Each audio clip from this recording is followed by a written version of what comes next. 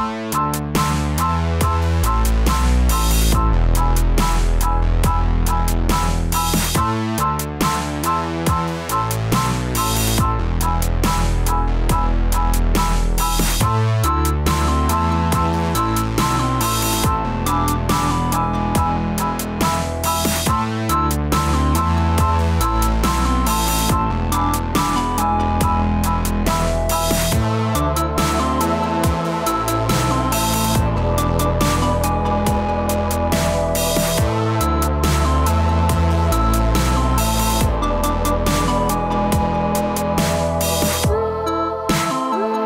Capitaine abandonne. Stéphane Rizaché met un terme à sa carrière et tombe dans les bras de Laurent Ciara.